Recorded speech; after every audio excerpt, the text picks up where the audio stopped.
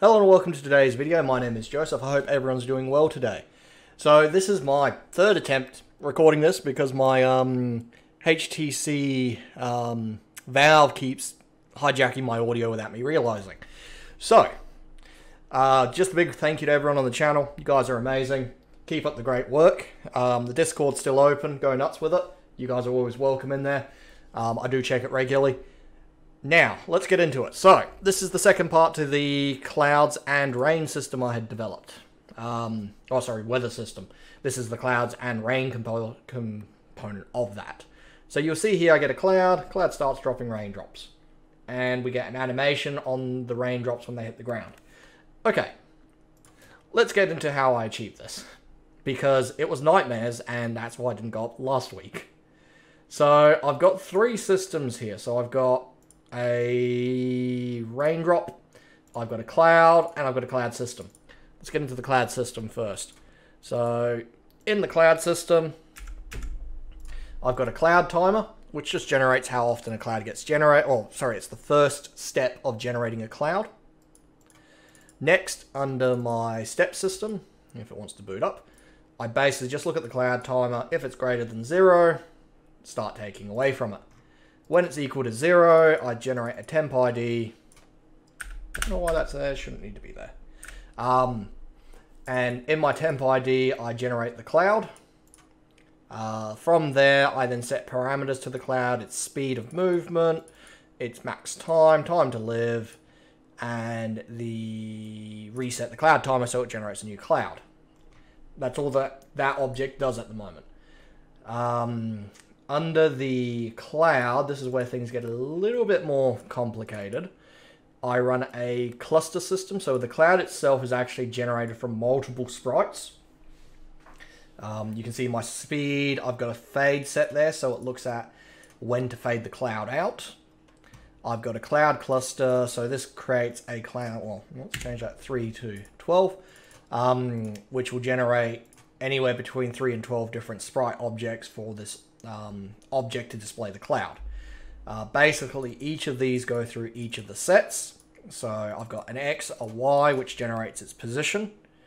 Uh, the next is the uh, index of the sprite. So because I've got two in two sprites in my um, index, it will be either one or oh sorry zero or one because um, I can retrieve the sprite there. Uh, and I'll show you guys the sprites later and how I generated them. Um, my angle is just a generated angle between or negative 5 and 5. My scale is x and y of um, 0.3 to 0.6. Important information, I have to pass over my x scale back down to my y scale, otherwise things could start looking funky. So basically this sets a limiting bracket to how weird it's going to look. Uh, the alpha is just setting the cloud alpha between 1 to 5. Let's actually change that to 2, like so. Um, then it just adds to the system. So basically, it just runs a repeat and adds to itself. We've got the rain droplets here. I'm going to leave them on for now, but you can set each cloud to either have rain or not have rain, so that's going to be important later on um, when I develop the next part to this tutorial. In the step event, I just have x plus equals my cloud speed. Note that my cloud speed is represented as a negative, which means my clouds will always move to the left of the screen. Um, if you change it, they will move to the right of the screen, basically changing it from a negative value to a positive value.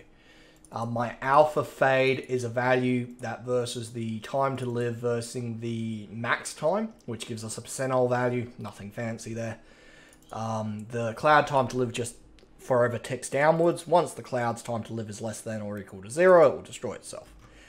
The next big part is the rain. So if rain is engaged, the cloud will look at um, the, the fade factor. So if it's less than 15% or 0.15, it will stop generating rain because it's getting too transparent. It's going to start looking weird with the rain droplets just appearing in thin air. Uh, the next part here is the rain droplet timer. So basically each time it generates a rain droplet, it resets its timer.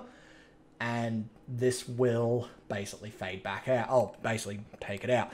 It basically adds itself into a uh, temp ID, temp direction, and temp speed is passed down. So it just sets all the parameters in here. And that is it. So now if we go over to the raindrop, the raindrop is pretty straightforward, I think. So I've got a line and a drop and then a splatter timer to live.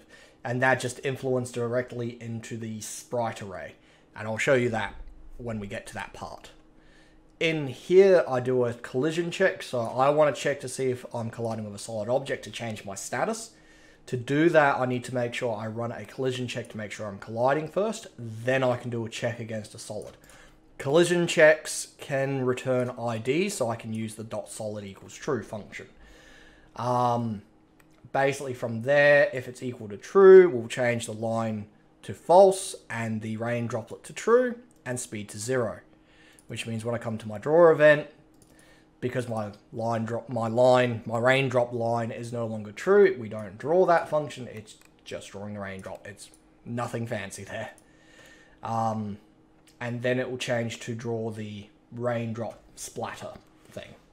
From there, it's just a sprite, but you'll see in here I've got the raindrop splatter timer.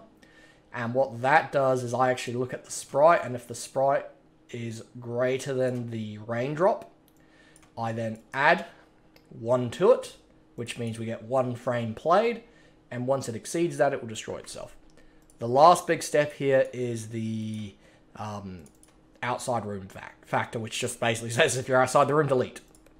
Now, let me get into some of the little bit more important things to understand about this system. Because each object has been generated um, instead of using particles, what this means is this could be quite um, taxing on systems that have a lot of objects in play. So we need to be mindful of that when we develop these systems. Because if we tax the system too heavily, we'll get a frame rate drop and that will be impacting on the player's um, experience. So just be mindful with that because it can affect player experiences if we go too crazy with it. But with the new developments of GameMaker and that, I think it handles it a lot better than it used to. But let's do a quick, quick little test here. So if I go cloud, let's jump to the cloud here, and let's, and I'll show you what I mean. Like we can change these factors quite readily. So here, I'm just going to change this to every three to nine steps, basically. So this should create quite heavy rain now.